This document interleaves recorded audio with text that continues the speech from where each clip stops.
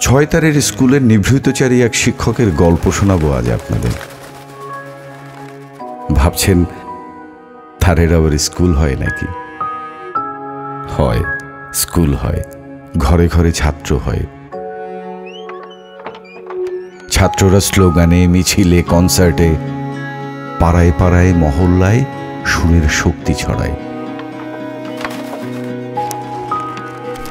নিলয়দা কি এক অসাধারণ শিক্ষক হয়ে গিটারের আলো ছড়িয়েছিলেন কয়েক প্রজন্মে। গিটার যে লাইফস্টাইল হয়ে উঠতে পারে,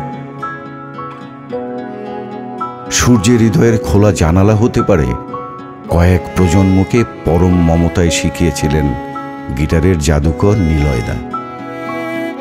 আমরা বলতাম, নীলকণ্ঠদা, গিটার হাতে বদলে যেত মুখের রং।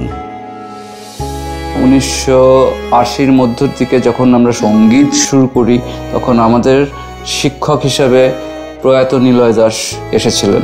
একদম রক অ্যান্ড রোল ফ্রিক টুপি জিন্স গিটার আর একজন শিক্ষক। বাপরে!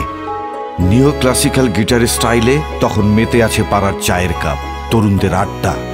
নতুন সব এক্সপেরিমেন্ট চলছে শহরের রকে ক্যাম্পাসের অলিতে, গলিতে।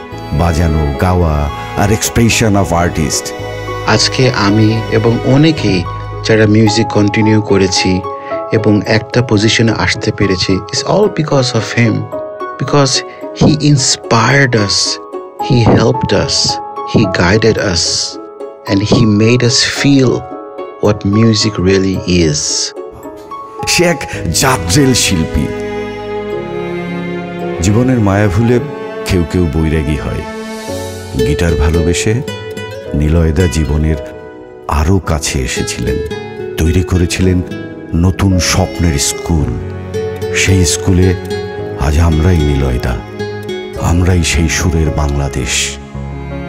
শিক্ষক দিবসে রক মিউজিক আর গিটারের এই আজন্ম সাধক ও শিক্ষকের প্রতি রইল আমাদের কৃতজ্ঞতা আর বিনম্র শ্রদ্ধা।